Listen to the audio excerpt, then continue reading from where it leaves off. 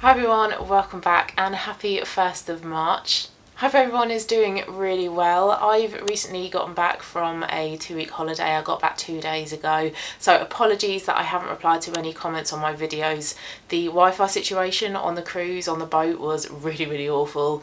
I basically only had access to WhatsApp messages and just text messages. I couldn't download any pictures or any videos, so I wasn't able to access YouTube and respond to any comments. So that is on my to-do list. I will respond. So thank you very much for those that have commented and also thank you for watching my videos that I put up in the meantime. But I'm back and this video is going to be my February empties video. So I'm going to talk about all the makeup, beauty, skincare, hair care products that I finished off in the month of February, my thoughts on them and whether I would repurchase any of them or not.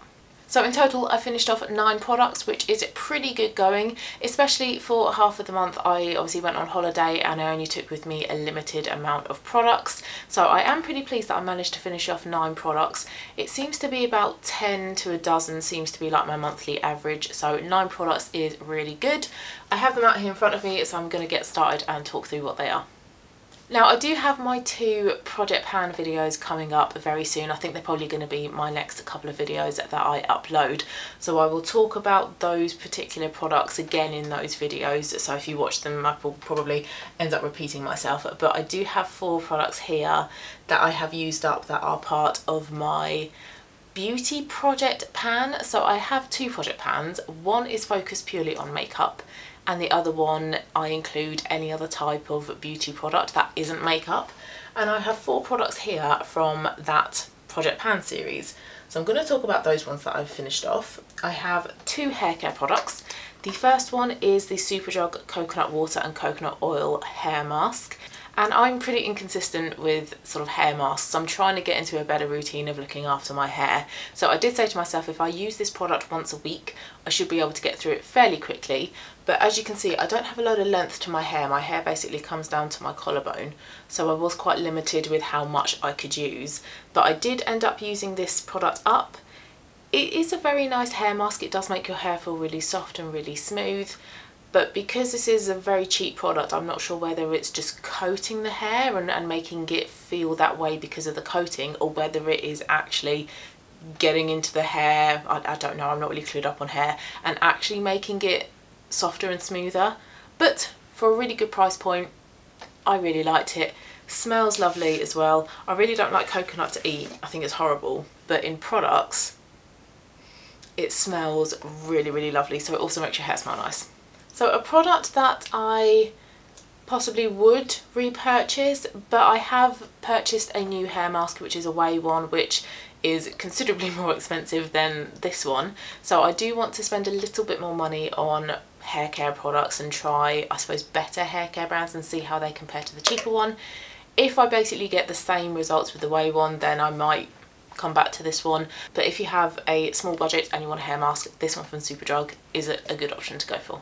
The other hair care product is the Charles Worthington Thicker and Fuller Scalp Tonic, a product that I've had for a long time. I have a lot of hair care styling products, you can probably see them all up here and I want to work my way through them this year which is why I've kind of created the other Project Pan project that I'm doing and this was one product that I'd had for quite some time and I was just really inconsistent with how I applied it. And with this product, you section your hair with the nozzle. So you make about four or five sections along your hairline, squeeze the product along the parting that you've made and then massage it in. And it's meant to give the appearance of thicker and fuller hair. Now, as you can see, my hair is very flat. I have thin thin to medium but fine hair so it's very difficult for me to get any volume and any body in my hair my hair is just naturally quite kind of like sleek and straight which I know some people do like, but when that is your hair naturally, you do sometimes want to mix it up and get a little bit of volume. And I have previously owned this and I was able to see results. Some people did comment and say, oh, your hair looks thicker. So I repurchased it, to, but to be honest, I haven't seen those resu results for a long time. So I'm not sure whether the product just stopped working for me or whether this product actually ended up expiring and then just didn't work. So a bit of a disappointing one this one because I have had good results with it before but because I haven't seen those results in a long time it's not a product I would repurchase and I'm glad that I have used that one up and I can start working on other hair care products. in my collection. The other two products that I finished up in my beauty project pan, so there's four in total. The other two are skincare products and the next one is the Ordinary Argireline Solution 10%. And this is meant to be like Botox in a bottle. So anywhere where you've got some lines, anywhere that you feel your face needs plumping up a little bit, you apply this. So it's a squeezy pipette and I would drop about sort of three to four pumps in the palm of my hand, take my ring and middle finger, swirl it around and then I would push it in between my eyebrows and then also on my smile lines. But I don't think this really works. I didn't really see a difference in a sort of like faint line that I have here. I feel like it didn't really plump my skin up. So I think I would rather rely on really hydrating products rather than products like this in the future. So maybe look at really hydrating serums, maybe try and up my hyaluronic acid in my skincare ingredients that I'm using. So I wouldn't rate this one, I don't think it does a particularly good job, not one that I would repurchase. And I think this is actually my second bottle. So it is one that I have tried a lot of times recently. And I have been using this on a really regular basis, I've been using it like twice a day. So I have been using it consistently enough to know that it just doesn't work for me. But price wise it is really good. I can't remember how much it cost because I bought it a while ago but I'm guessing around about sort of the £10 mark maybe. So if you did want to try it, you're not going to break the bank by giving it a go but it's not really one that I would try again. Didn't really see any results with it. Next product is another one that's kind of been in my collection for a long time and it's the Tan-Luxe Facial Tanning Drops. I think this is really good. You add three, four drops, well that's how many I added, but I think you can add up to about 12 drops. But I added about three to four drops in with my moisturiser and I would use that of an evening. So I wouldn't really add this to my morning moisturiser. So I put this in my evening moisturiser, woke up and my skin had not really a tan, but my face just wasn't as pasty as it was the night before. I felt like it blended in really well. There wasn't any telltale sort of like lines around my face or any patchiness, any areas that were a lot darker than others. I did notice though that it did sometimes stain my hands, even though I did wash my hands immediately after applying it. I would sometimes get like orange marks in between like my fingers, even though I was very thorough washing my hands, so a bit annoying. But I think it gives a really nice tanned appearance, like a nice glow, a nice bit of colour to your skin. So a product that I really liked and I would repurchase, but a product that I am really lazy and inconsistent about applying. I notice that I'm really pale and I use it for maybe one or two weeks and then I put it back on my shelf, on my dressing table and I don't touch it for months. So that's really why I included it in the project pan because I wanted to get it used up. But I liked it and I would repurchase it and I would recommend it but probably not for a while. I am interested in trying like a facial tanning mist. I think Saint Tropez do one, so I am intrigued to try that one. But if you would prefer something to mix into your moisturiser, I would recommend this one. Very good product. Okay, another Project Pan product that I used up, but this is from my makeup Project Pan and it's one that I'm very very happy I've used up because it's been in my project pan for ages. And it's my number 7 custom blend highlighting drops. It's a liquid highlighter. It is 15 mils and it has a little squeezy nozzle. So you squeeze a little bit out onto your finger or the end of a beauty blender and you just sort of pat it in to your cheekbones or anywhere you want to highlight. But because it's liquid and because you don't need a lot of it it takes ages to use it up I can't remember how long in total it's been in my project pan, but it's been in my project pan for months and I was hoping to have used it up by the end of last year. And although I have used it up, I've only managed to use it up by adding it to body moisturisers. So I did take this one on holiday with me and I mixed it in with my body moisturiser. And for about five days, I think it was, I used that in body moisturiser that I applied to my whole body. So I was thinking, oh, I'll just apply it to my collarbone or just my shoulders and that'll be enough to get it used up. No, you get so much product in this that if I hadn't have used it in a head to toe body moisturiser for about five days in a row, this would probably have stayed in my project pan for the next at least three months, probably. So one that I am really pleased that I've used up. I like it, it's a very, very pretty product, but I'm not a massive highlighter fan.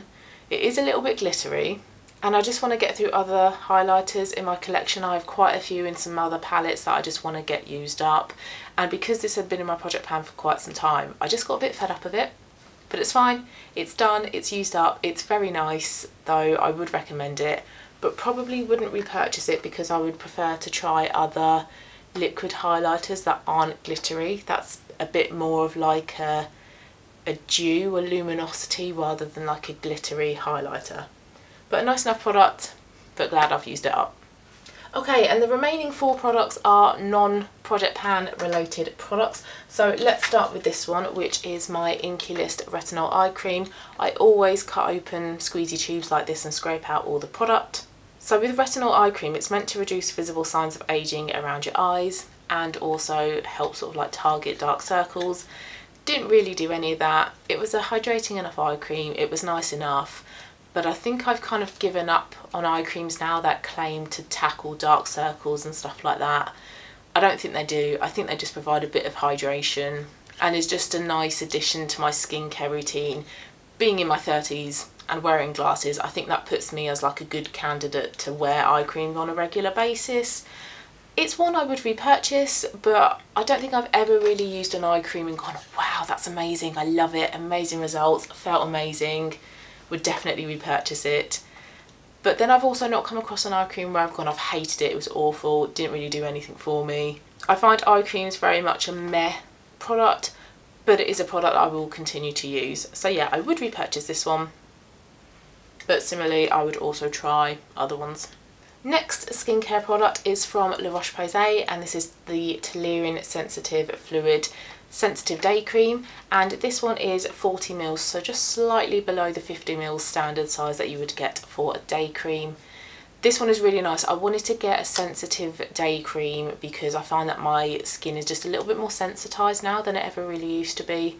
So I wanted something simple, no frills, fragrance free, just something that's going to hopefully keep my skin quite calm during the winter months here in the UK and this one did the job really well.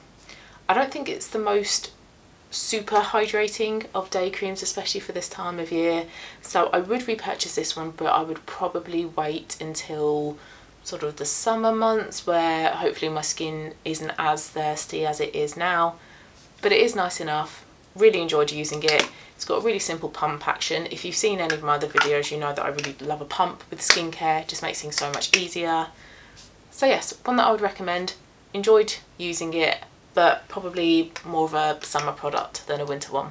And then the next two products are both bath body care type of products. The first one is the Sanctuary Body Scrub 50 mils and this one I bought when I placed an online order from somewhere, I can't remember where, but I needed to spend like an extra couple of quid to get the free delivery so I thought well let's back on something like this a product that I'm going to use that I probably kind of need to use but one that I don't spend a load of money on this one is nice enough. I think I probably use this up in two applications though. That's the thing with the body scrub. Because obviously you're applying it to your entire body you're going to get through the product really really quickly. So I don't like to spend loads of money on a body scrub. But Sanctuary is a nice brand fairly good price point so for that reason I would buy it again. And this is a nice texture as well. Sometimes with body scrubs they can be either too abrasive where it feels like you're peeling off a layer of skin or they're not abrasive enough they're more a body gel with a couple bits of scrub in. This is a really nice happy medium. Really, really liked this one. Doesn't quite take the place of the Soap and Glory tubs of body scrub that I really, really like. And those you can quite often find for like three for two at Boots. But this one is good though and I would repurchase it. A nice product to use. Okay, and last product is from Lush and it's a 100 gram bottle of Rose Jam Shower Gel. I really love rose as a scent. I know it's a real hit and miss scent because sometimes people think it's a little bit old woman like, it's a little bit heady and stuffy and just not very nice. But a really lovely pure rose scent I just love. I think it's so lovely. This smells nice, but it's not the best rose scent that I've ever smelled. I feel like it's more of a modern take on rose. So you can smell the rose in it, but it's not a pure rose scent. So maybe if you're not the biggest fan of rose, then this is probably a shower gel you might want to try. But for somebody like me who is a big fan of rose, there's better rose scented products out there. But Lush do some really lovely shower gels. They lather up really well. They're quite kind of thick in texture and I'm not a massive fan of the bottles. The bottles are quite kind of hard to get your product out. I think after the first couple of applications I have to turn the bottle upside down and give it a really good shake to get product out.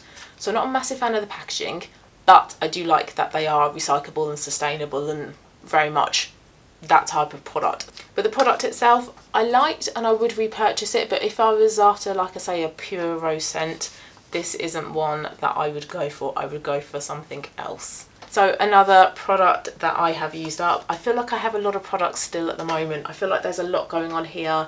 There's a lot in my bathing cabinets.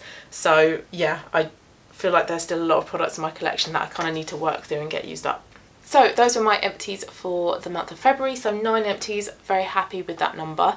Please let me know in the comments down below if you have tried any of the products that I've mentioned here. What are your thoughts on them as well?